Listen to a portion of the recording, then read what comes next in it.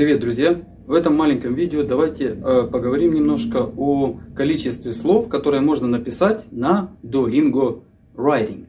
Как вы помните, у нас в Duolingo два таких крупных райтинга. Это э, writing, writing Read, как там, называют они его, и Writing Interview. В общем, суть, в принципе, в них одинаковая. Вы читаете вопрос, который часто включает в себя 2-3 подвопросика, ну и пишите в течение 5 минут. И, естественно, э, там минимум дается 50 слов.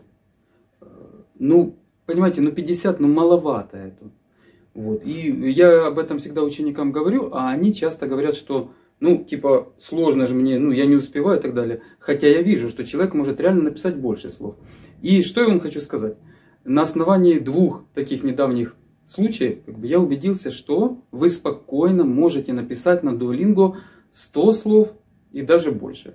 Смотрите, у меня недавно был ну, как ученик, мы занимались, да, у него уровень английского не очень высокий, ну, э, скажем, ну, совсем не очень. Не начинающий, конечно, но и вот, но что отличало его от других учеников, когда мы тренировали с ним вот этот Duolingo Writing, то он за 5 минут спокойно, знаете, методом вот так двумя пальцами по клавиатуре, клац, клац, клац, клац, клац, клац, он спокойно наклацывал каждый раз 100 слов. Может даже было и больше, 105. Там. Причем, ну не быстро, я же слышу, как он печатает. Мы как бы включаем демонстрацию экрана, screen share в скайпе, и я вижу, как он это делает. То есть клац, клац, не так, что дык-дык-дык-дык-дык-дык. Если дык-дык-дык-дык, то там можно 200, наверное, настрочить. А он вот так вот 100-105. При, ну, что его отличало от э, других учеников, у которых даже выше уровень английского, это то, что он ну, давайте скажем так, ну, знал, о чем писать. Я не, не скажу, что идеально там все было, да? но вот он не парился насчет того, что писать. То есть он не задумывался слишком глубоко. Я об этом всегда говорю и на уроках, на своих вот видео. Duolingo Writing вам дает 5 минут.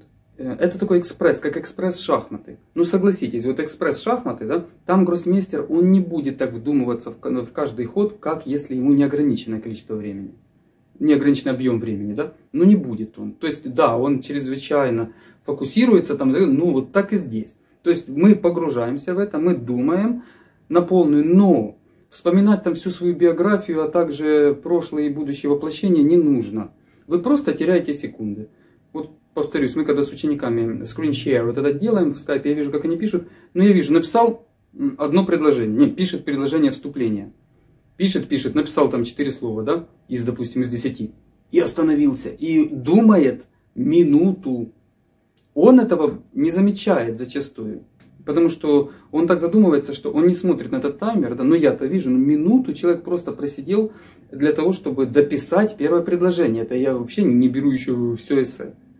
Вот, и он минуту вот так вот и выкинул из жизни ясно, что он не напишет 100 с чем-то слов, и они действительно в конце концов там 50 с трудом, вот, учитывая, что он уже не успевает, то последнее предложение он дописывает лишь бы как, то есть уже там какую-то отписку такую вот. И, и, и смотрите, вот, то есть человек, который не сильно глубоко задумывается, и не, но не сильно даже быстро печатает, спокойно настрочивает там 100 слов. Более того, и второй момент. Э, в недавнем видео, я вам ссылочку дам в описании на всякий случай, я сам уже сел, как бы поделился своим экраном, записал на камеру и на Duolingo Writing я спокойно, не так уж прямо спеша, настрочил, по-моему, 120 слов, я не помню. 120, при том, что я не очень быстро писал. Во-первых, я не умею очень быстро на клавиатуре печатать, тоже методом полунаучного полутыка. Вот. Ну и, как вам сказать, ну, ну у меня опыт, конечно, в этом, ну и что? Опять-таки, я не задумывался слишком глубоко о том, что писать, какие вот эти пункты, аргументы, если бы вам нужно было там 160 по дуолингу и 160, да, ну ладно, там будет приним, э, приниматься, как бы браться в учет все ваше, ну и содержание, и стилистика, и всякое такое, да. Но так как вам, большинству из вас, нужно до 120 баллов максимум, не нужно глубоко думать, это не оценят. А вот то, что вы меньше напишете, это учтется. Вас проверяет компьютерный алгоритм, который не устает. То есть, если на таких тестах, как IELTS, SAT, TOEFL тоже, там проверяет человек, ну, по крайней мере, до последнего времени, да, то там, как пишут некоторые авторы, не пишите побольше, но в меру разумного, потому что у вашего проверяющего, этого грейдера, у него две минуты на проверку вашего эссе. То есть он его просматривает вот так, наискосок.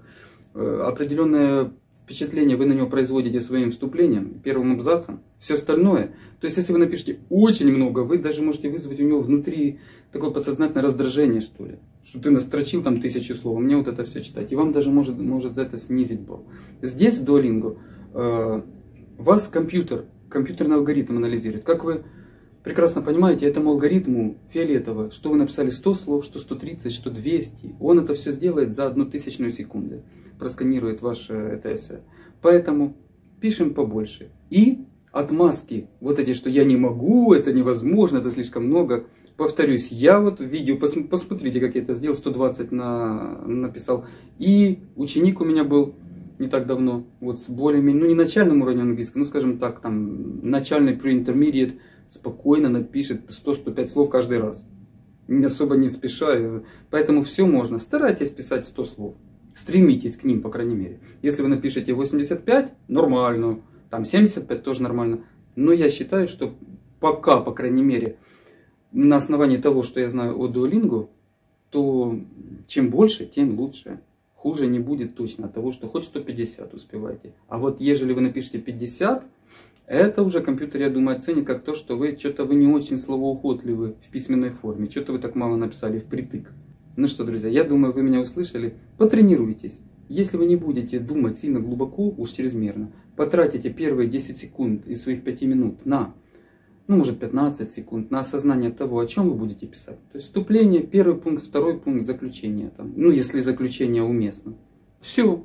Вы садитесь и строчите. По ходу дела, что-то вам там примерчик всплыл какой-то в памяти. Прекрасно, for example, там же. И спокойненько клик, клик, клик, клик, клик, клик. И вы накликаете себе эти 100 слов. Ну что, желаю вам успехов на Duolingo и всяких прочих тестов, тестах. И встретимся в следующих видео.